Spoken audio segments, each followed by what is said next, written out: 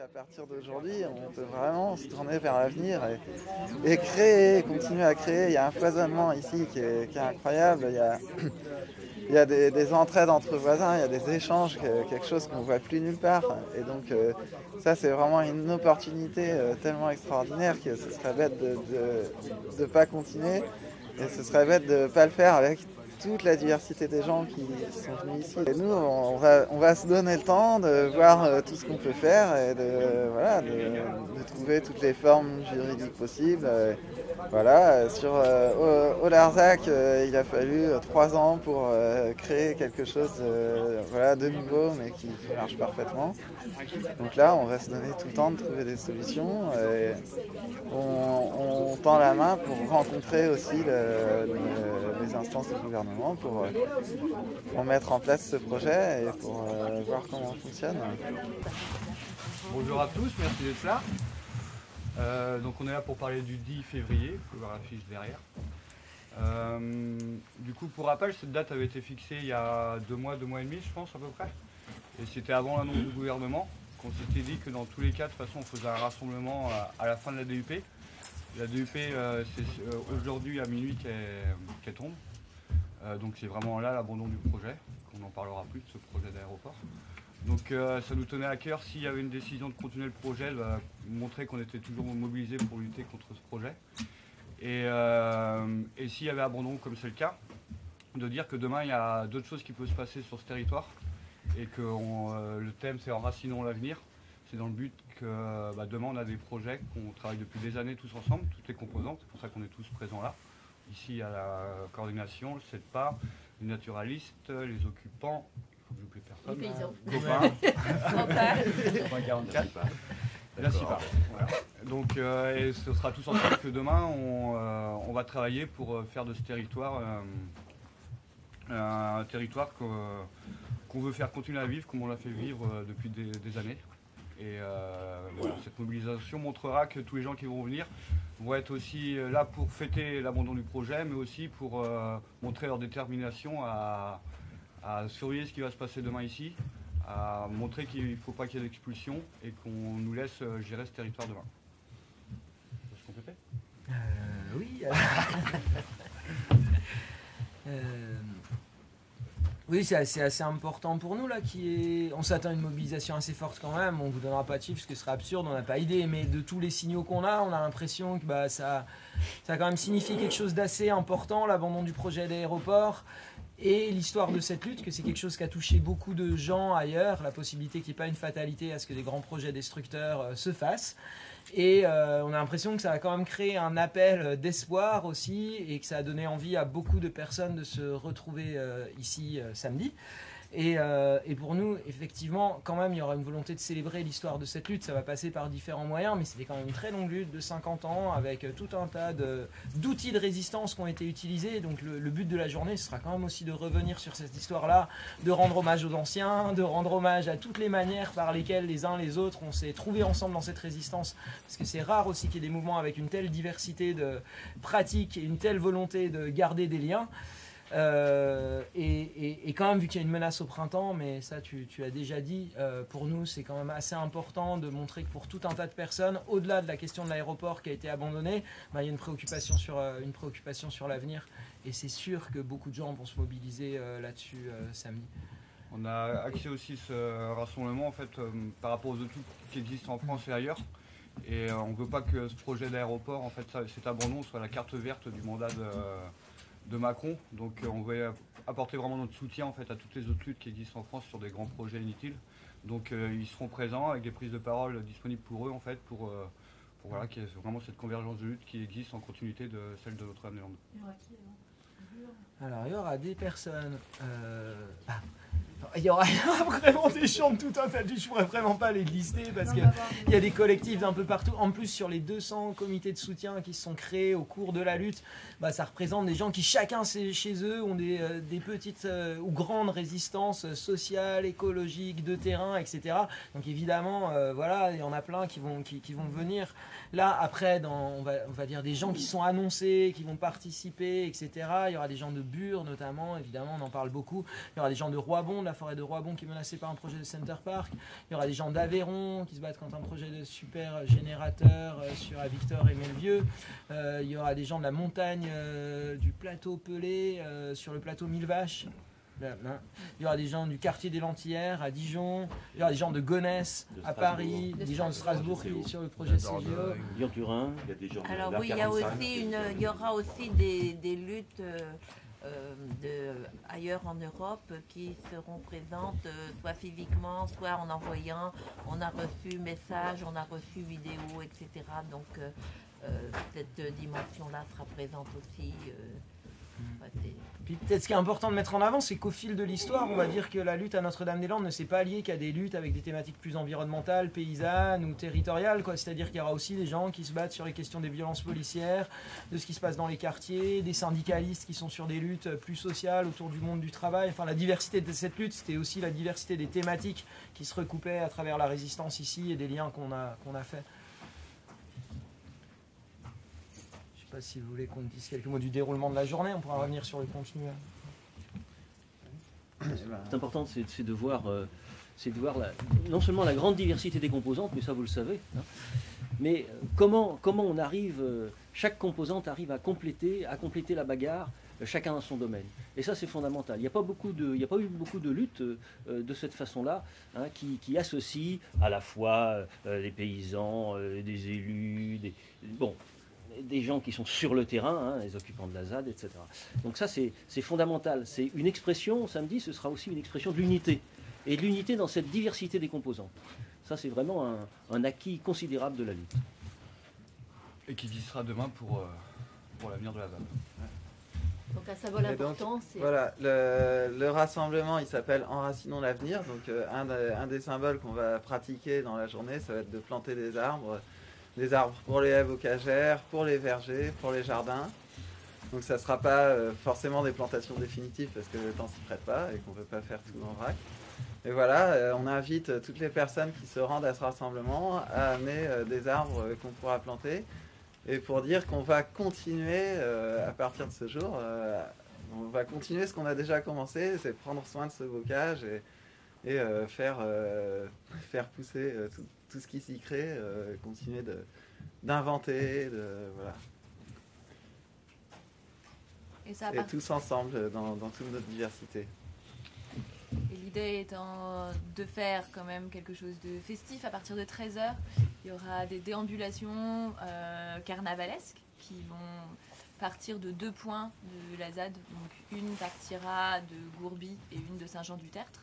Avec euh, Batucada, il y aura euh, huit fanfares, dix chorales qui viennent, euh, qui viennent de toute la France et, euh, et de l'Europe. Il y aura des, des chars euh, carnavalesques qui auront été certains préparés ici sur zone, mais d'autres qui seront apportés par euh, des comités de soutien euh, venant représenter euh, leur, leur lutte pour, pour déambuler à travers, à travers la ZAD jusqu'au point de, de convergence à Bellevue.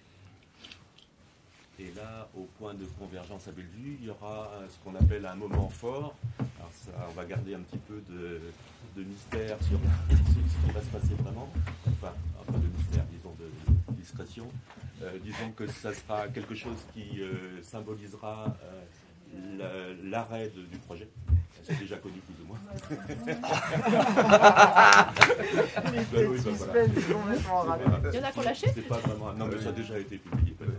Et voilà, donc, euh, en même temps, l'arrêt du, du projet d'aéroport et aussi euh, la- le, travail, enfin tout ce qui est à construire euh, l'émergence. sur euh, l'avenir, les- les- les- voilà, l'émergence probablement d'un nouveau pas d'un mouvement qui est en, en- en- en transition. euh, voilà, et euh, c'est- ça sera aussi un moment où sera symbolisée la, la- la biodiversité de la zone. Et, voilà. Mais on vous laisse, vous savez plus ou moins. Vous- T'as quoi d'écrit Non, bah, il n'y a pas- il y a pas- il y a pas un grand c'est- mystère. T'as- T'as quoi La, la fin du projet. euh, avec une grande effigie d'aéroport de Notre-Dame-des-Landes et des maquettes représentant d'autres projets d'infrastructure doivent être. Alors voilà, c'était euh, complété. euh, c'était aussi euh, un, un moment qui évoquera les autres, les autres luttes et les autres grands projets euh, inutiles et éventuellement d'autres choses que tous les, toutes les composantes du mouvement aimeraient, aimeraient bien voir disparaître, contre lesquelles on est aussi des uns et les autres. Voilà, chacun de. Vous avez une maquette de l'aéroport, vous avez. Euh, Ah bah là, vous allez découvrir. Il n'y a pas il y a pas tout c'est En fait, il des surprises. En fait, il faut laisser les gens venir et découvrir. Faut que les gens viennent, c'est voilà, exactement. c'est qu'il y ait- qu'il y ait finalement une participation large des gens Le cadre est On, pourra donner une chose, en tout cas, c'est le cadre. Il y aura, ce sera dans un champ, donc avec de l'eau, de la boue, euh, de la musique stable. Il y aura forcément ça. Euh, voilà, une certaine ambiance, l'ambiance de la zone, quoi. De, de la zone de, de la ZAD de Notre-Dame-des-Landes. Au début Euh, de ce moment fort, il y a 10 fanfares et 8 chorales qui vont se regrouper pour faire des chansons euh, ensemble. Alors, pour les Des chants de la lutte, des chants qui ont marqué la lutte. Non, non, on, on l'a nommé grand moment avec un grand G et un grand M. Voilà. C'est aussi fort que ça. Et c'est dans quel lieu le chant du grand moment? Et À Bellevue. Ah, bah, ça sera un moment joyeux, quoi. Voilà, Ouais. Comme l'ensemble de la déambulation et de la journée. Hein, Sachant qu'elle se poursuivra ensuite. Et, et sur les prises de parole, il y en a qui auront lieu, euh, de, par exemple, des luttes qui vont nous rejoindre. Il y en a qui auront lieu euh, au début de la, des déambulations. Et il y aura des prises de parole aussi à la fin du grand moment. Et de, une prise de parole collective, des prises de parole de, de, certaines composantes. Et il y aura aussi des, des, à nouveau des très très brèves prises de parole pour, pour affirmer la présence des autres. Parce que c'est vraiment, c'est quelque chose qui pour ce rassemblement-là, pour nous, n'est pas du tout secondaire. Nous, on a gagné l'abandon de l'aéroport. On démarre une deuxième phase ici, mais on continue à être en réseau et à s'alimenter euh, réciproquement, s'informer euh, entre, avec d'autres luttes. Euh, Alors, fête, fête, après ce grand moment, on va faire une grande fête. Une grande fête avec plus de 5 scènes parce que euh, une victoire sur une bataille de plus de 50 ans, ça se fête. 50 ans, c'est long, ça mérite vraiment une grande fête. Euh, parce que c'est également l'ouverture d'un nouvel avenir, un avenir possible pour la ZAD. Et ça également, ça se fête. Donc, on a prévu vraiment une très grosse fête. Limite démesurée, on pourrait dire. Il y aura plus de 5 scènes, on finira pas probablement avant le dimanche midi. Voilà, je vous donne pas forcément tous les détails, mais ça sera orgiaque. Oui, il y a une scène concert, il y a une scène reggae dub, il y a une scène techno, il y a une scène de spectacle et de concert amateur, il y a une scène de fest-noz et de musique traditionnelle. Euh, ouais, c'est assez complet. Sera grandiose, inouï, hors norme, comme la lutte. Un 10 février. On ose tout Combien de cars vous attendez euh, Une petite cinquantaine. Une grosse cinquantaine. Une grosse, on est- on a dépassé ça. Ça, Ah, ça y est, on a dépassé ça ça. bouge encore, hein. Ça bouge encore. Ce qui est intéressant, c'est qu'on a l'impression qu'il y a, il y a- évidemment, il y a beaucoup de gens qui ont traversé l'histoire de cette lutte à un moment ou à un autre, qui vont venir, les comités qui se sont mobilisés. Nous, l'invitation à la base, c'était de dire bon, on a vécu, nous, on a fêté la victoire le soir même avec les gens qui étaient sur place, avec des gens qui sont venus de Nantes, mais on se disait bon, cette histoire, cette lutte, on l'a fait avec tout un tas d'autres personnes qui n'avaient pas le temps de se déplacer le soir même. Donc l'invitation du 10, c'était aussi de pouvoir bah, refaire cette fête euh, avec eux et se dire qu'on avait traversé tout ce- toute, ce- toute cette histoire ensemble. Mais ce qu'on s'est rendu compte, c'est qu'il y a énormément de gens qui sont jamais venus à la ZAD et à qui la victoire et la suite et ce qui se joue là a donné envie de venir. A donné, et il y, a- il y a plein de gens qui seront là samedi, a priori, qui, qui, qui étaient, qui étaient jamais venus. Ah oui, parmi les bénévoles, les bénévoles affluent euh, par la- l'adresse qui était proposée. Et aujourd'hui, on, on envoie un message de dire merci, vous êtes vraiment nombreux à vous être mobilisés. Passez le jour J pour proposer vos services supplémentaires. Mais aujourd'hui, on fait le plein de bénévoles. euh, donc, par contre, il y a, euh, comment, ben, vu l'affluence qui est attendue, bien sûr, la grosse question c'est euh, et comment tout ce monde-là va rentrer dans la ZAD? Ben, Ils découvriront tous les petits chemins pour réussir à accéder effectivement à nos deux lieux de rendez-vous de midi et puis surtout au lieu de Bellevue après. Les gens vont arriver dans la journée à des heures différentes selon ce qui va les attirer. Par contre, ben, il faut s'attendre à, de- comment, une zone très très rempli de véhicules. C'est pas notre choix parce que ben c'est pas notre histoire de faire venir plein de véhicules sur la zone, mais à la fois c'est des gens qui viennent soutenir la lutte. Et donc euh, le stationnement est demandé et expressément demandé. Jamais, jamais dans un chemin, jamais, jamais dans un champ, mais que sur les bords des routes et toujours sur le bord droit de la route parce que les routes seront en grande majorité en sens unique. Il y a une voie qui reste la voie circulante qui est la R81 qui est la route euh, ouais. Vigneux, Vacherie, celle-ci. Mais les autres seront en sens unique avec un stationnement tout du long de la zone, avec des équipes de bénévoles qui se sont mobilisées pour tenter de proposer euh, ben, un respect de cette, euh, de cette euh, ligne de euh, comment, la place pour tous, mais à la fois euh, ben, le plus raisonnablement possible. Le covoiturage, le ve- venir à vélo, poser sa voiture dans les bourgs alentours et venir en vélo. Il y aura des parkings vélo sur site. On a organisé le mieux qu'on a pu et je pense que tout le monde y mettra vraiment du sien parce que ben, les gens ont vraiment envie de venir, des anciens et des nouveaux et je crois que c'est vraiment quelque chose d'important. Et puis même euh, comme on a déjà vécu le rassemblement des bâtons, on sait que le soir pour retrouver sa voiture c'est pas si simple que ça. Donc vraiment on a dit photocopier le plan, marquez votre endroit où est votre voiture pour la retrouver si vous ne voulez pas traîner à des heures indues pour chercher, rechercher votre véhicule. Et amener des bottes, et des lampes. amener des lampes frontales. Et Soyez vraiment, euh, je dirais, ne débarquez pas comme ça euh, sans avoir prévu.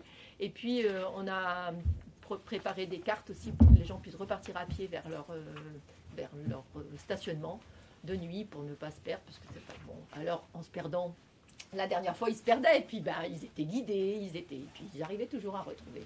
Voilà.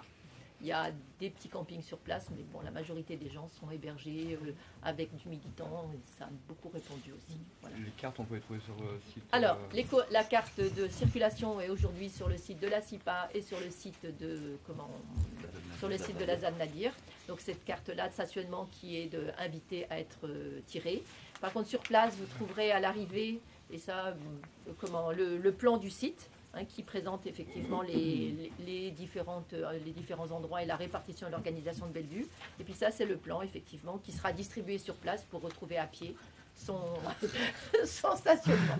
Bah, je pense qu'on aura de la bienveillance entre tous et tout le monde va s'aider et ça sera une super Alors- fête géniale. Beaucoup de gens de la région arrivent soit en train, etc. Et donc euh, on a proposé de prendre le tram 2 et sur le site du Cardo, le lieu de covoiturage du Cardo, on invite tous les véhicules à- qui, n'ont encore des, qui ont encore des places et qui se dirigent vers Notre-Dame à passer vers l'aire de covoiturage du Cardo et de prendre des gens qui seront à l'aire de covoiturage en disant je pars sur Notre-Dame.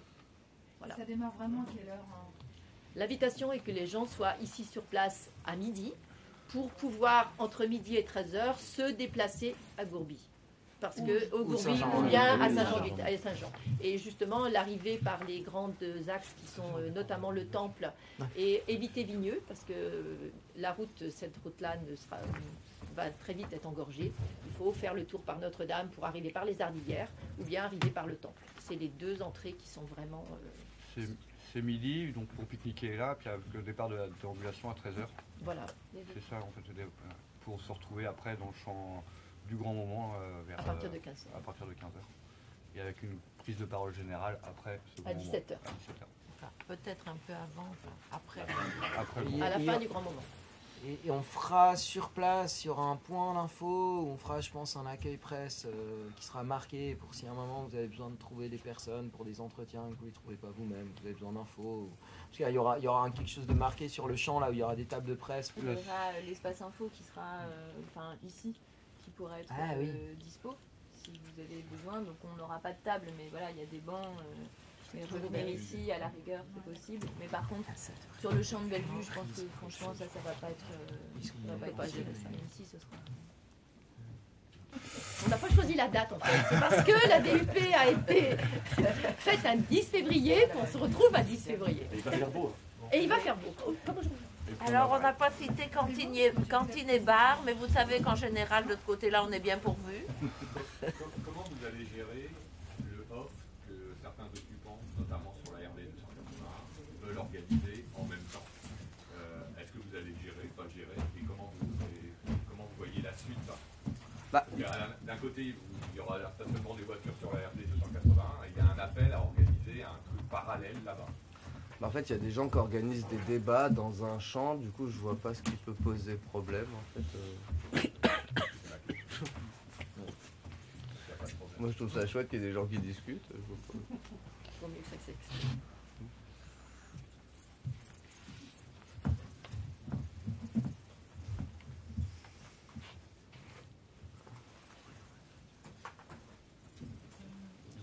Pour la suite, est-ce qu'on peut en prendre certains entre vous euh, pour les interviews On a tous euh, désigné Cyril. C'est- voilà, on vous le laisse et puis nous on va. Vous nous le rendez après quand même. euh, oui,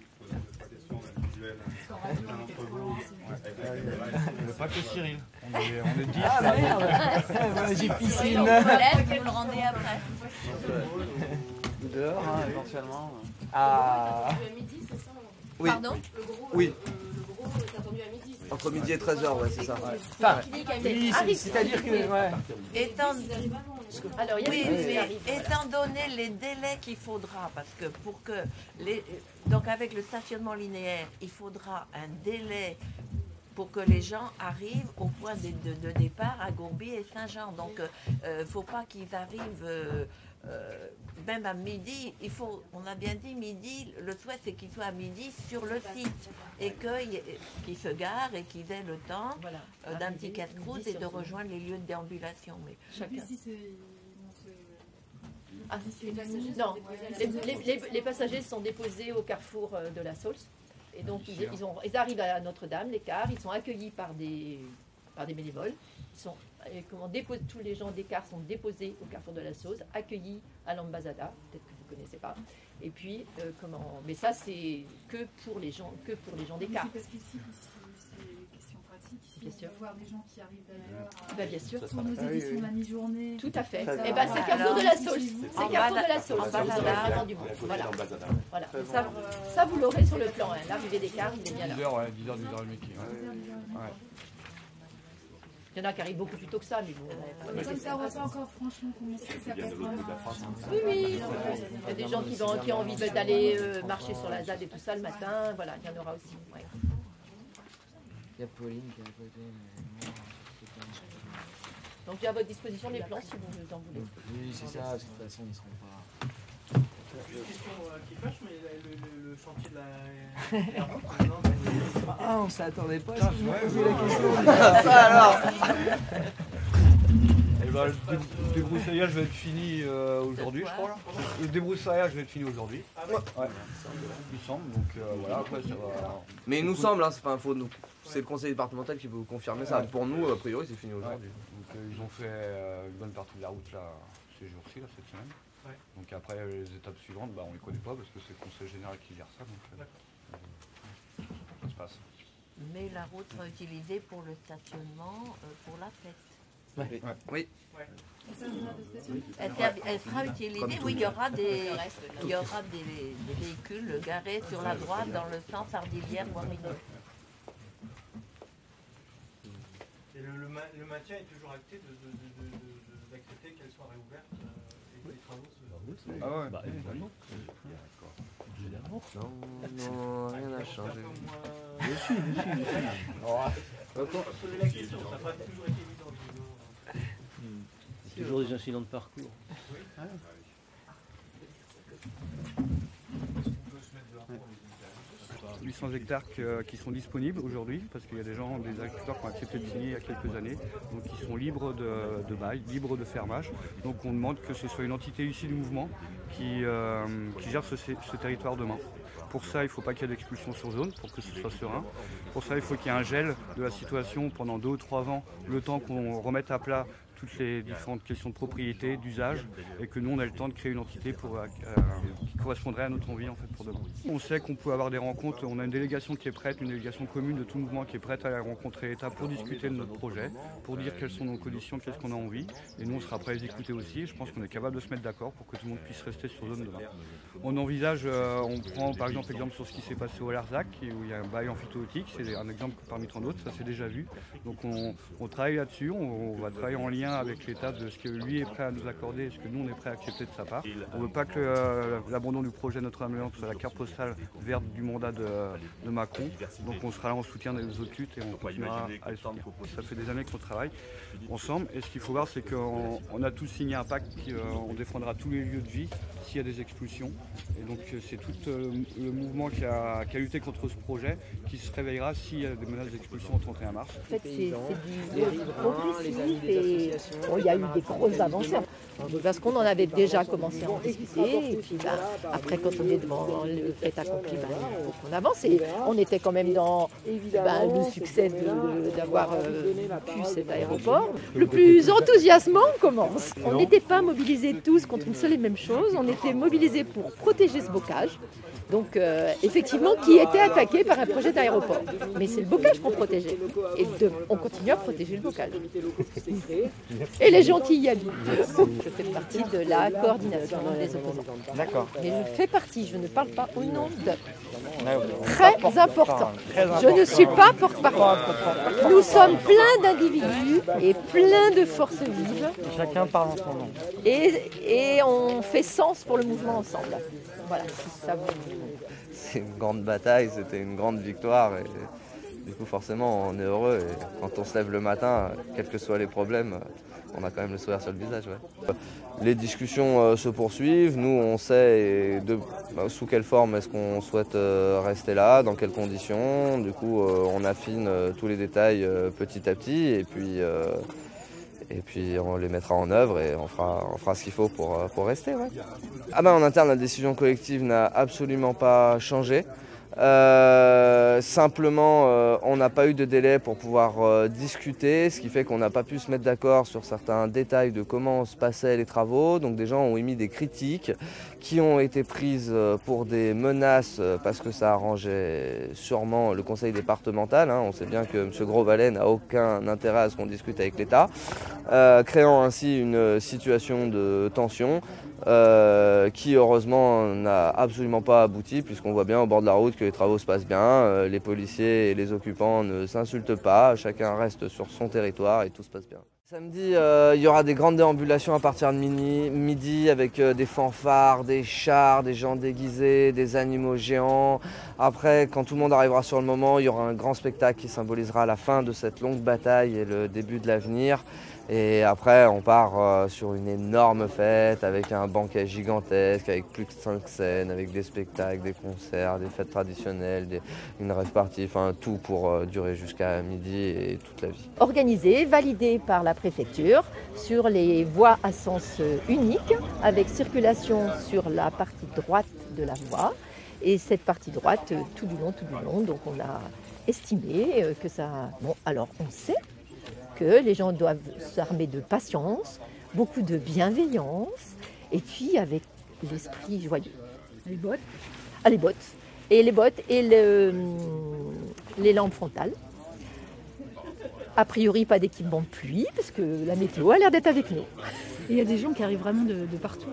Ah ben, on a été, oui, bien, sur, bien comment on va dire, contents de voir comment euh, les comités euh, de très loin ont très vite mobilisé des cars.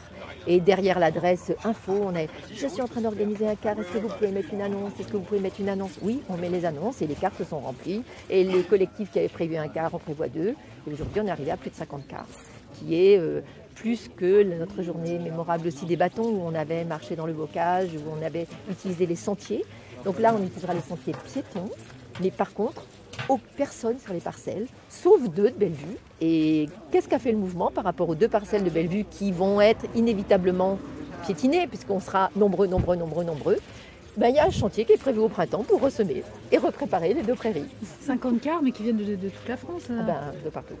Euh, euh, d'Annecy, d'Annemasse, enfin on en a de- des Alpes, on en a des Pyrénées, de Bordeaux, de Toulouse, euh, on en a vraiment, euh, même, des, même, même des petites localités ou des petits comités nous, nous disent euh, on fait un quart.